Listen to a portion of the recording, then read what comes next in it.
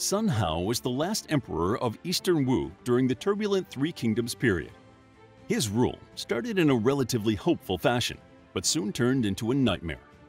In the beginning, he reduced taxes, made some critical management decisions regarding the high-level officials, and let several concubines go. But like other Chinese rulers, he could not avoid falling into the trap of wine and women.